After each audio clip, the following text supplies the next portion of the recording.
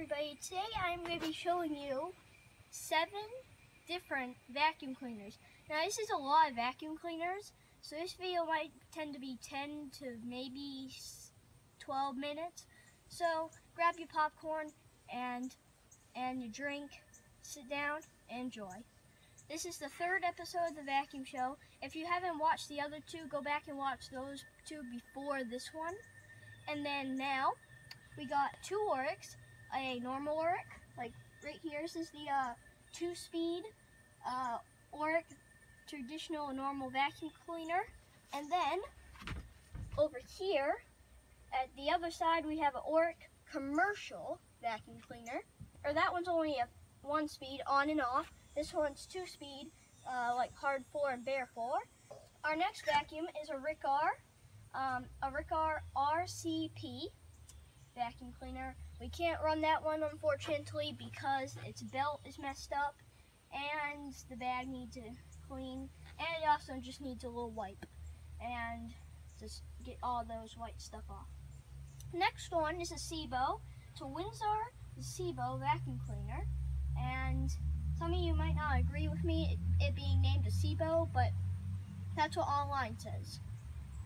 Next is behind me we have a Sanitaire commercial vacuum cleaner. Um, can't run that one either. Its belt needs a fix. It needs a um, it needs a um, thing for its bag because otherwise it just doesn't work. And because if you problem is, is I'll show you. It needs a bag part right here because it, it's got a brand new bag right here, but it won't work because it doesn't have that certain piece. If you try putting this on, here it'll just blow off while you're vacuuming. So you can't use this one. Next vacuum we have is a Electrolux commercial. Um, this one, pretty good vacuum cleaner. I like it. And then here's a um, Electrolux normal edition. Um, these two are a little bit getting old now, but they're still usable in 2024. So, that is all the vacuum cleaners we are going to be using today.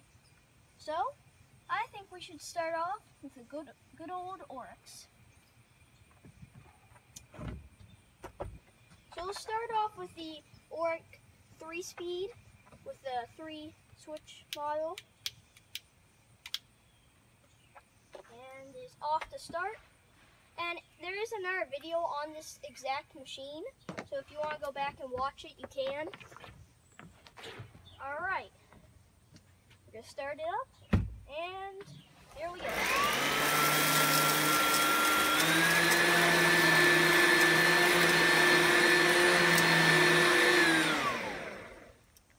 That's this one. I had it on it, you were probably able to hear the noise going up and down. So there's first machine done. So this one I have honestly no idea if it works because um, we used it and its motor starting to burn out. But there is a difference with that cord on that Oreck.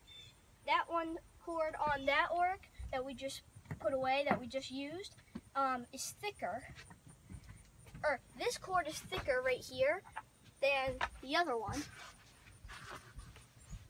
There's the differences. This was the thicker one, this is the commercial model, and here is the um, other model, just the normal household one. And then another difference is it has, that one has a different prong. This is a grounded plug instead of a normal two two-pronged plug. So, I guess we should start up the commercial model. Been a long time since I've started up this one, um, so I'm excited. So, here we go.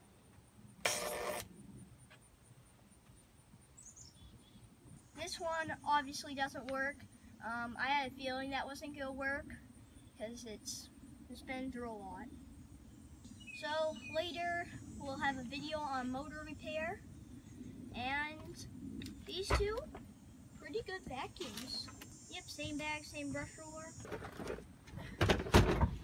So it'll only be my second time testing the commercial uh, Electrolux. So we're going to be moving on to Electrolux. And I know this one works really well. Which I really like it because I've never had one of these before and I've always wanted one.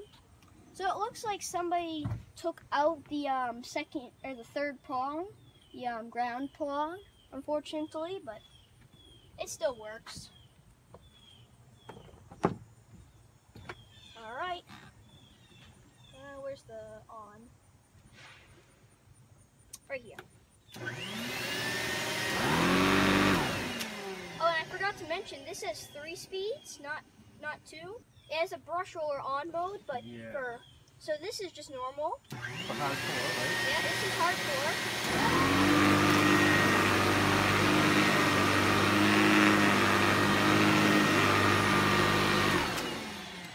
That's pretty good. So, push this one off to the side. Take it away, Bob.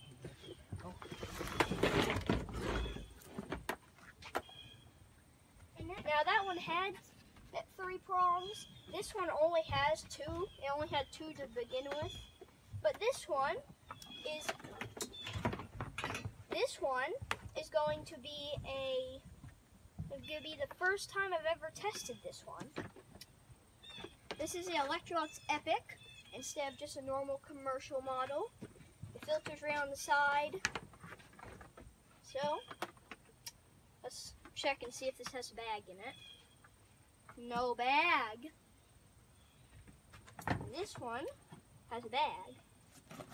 We're just gonna take out the bag on this one. And it looks like somebody tried vacuuming with it without a bag in it. Oh!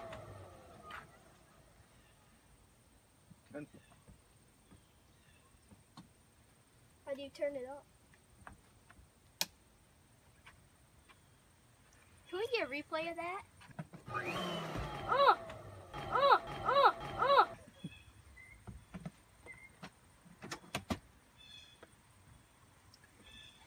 So now I'll show you this one. This is hard floor mode. Then we're gonna put it on uh, carpet mode. Now look at how much it agitates the carpet.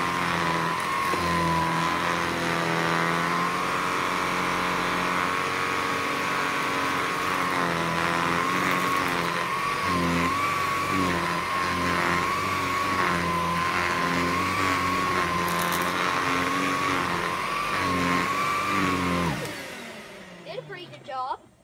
So my first time ever testing this one. So thoughts about these two? Pretty good. Um, the handles are different. Uh, this handle is just like one that if you let go, it just goes down. But this one, if you let go, it kind of saves you. Because this one's got like a full round one, and then this one just holds. So yeah, these two, good vacuums. We think the brush rollers are the same, and they use the same bag. I think they use the same filter. Probably, maybe? I don't know. They might use a different filter. Well, whenever we do a full video, we will show you.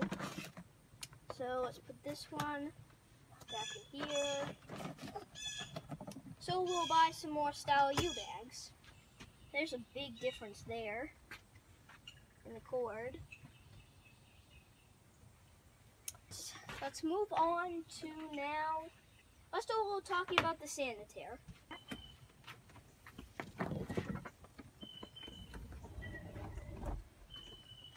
Next commercial vacuum cleaner is a sanitaire.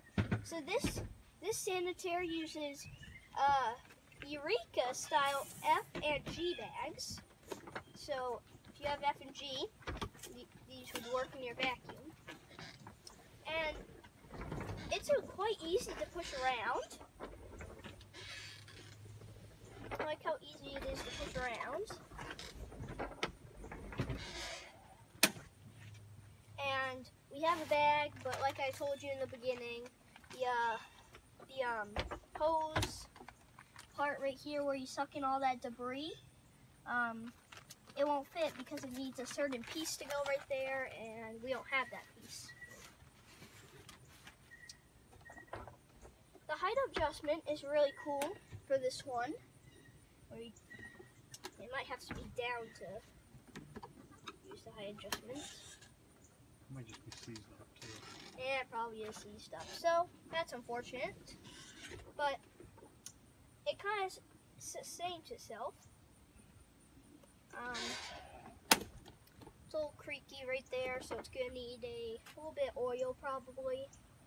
And this one will be all fixed up.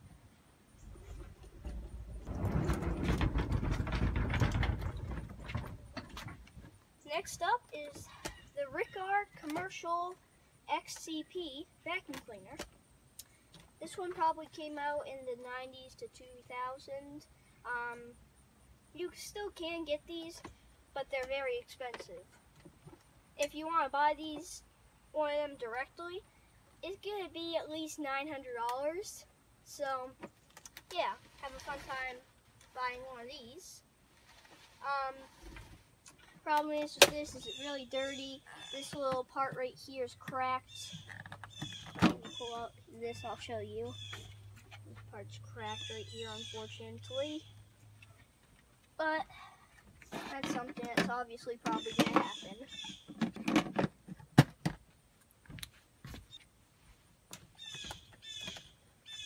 So, this one will need some work, so there'll be a video on it too.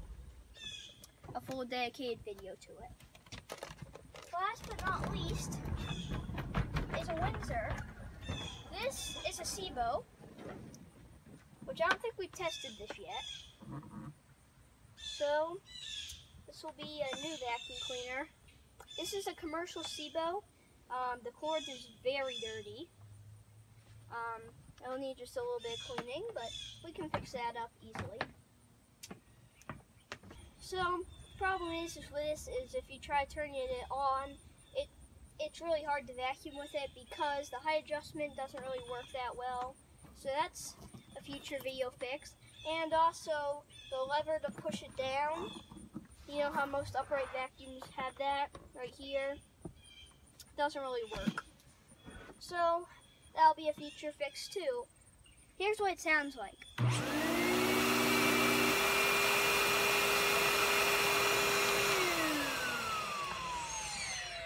I heard the brush for a second and then it turned off for some reason. I don't know if it's stuck or what's wrong, but we'll figure that out in a future video too. Make sure to like and subscribe and I'll see you in the next video. Bye for now.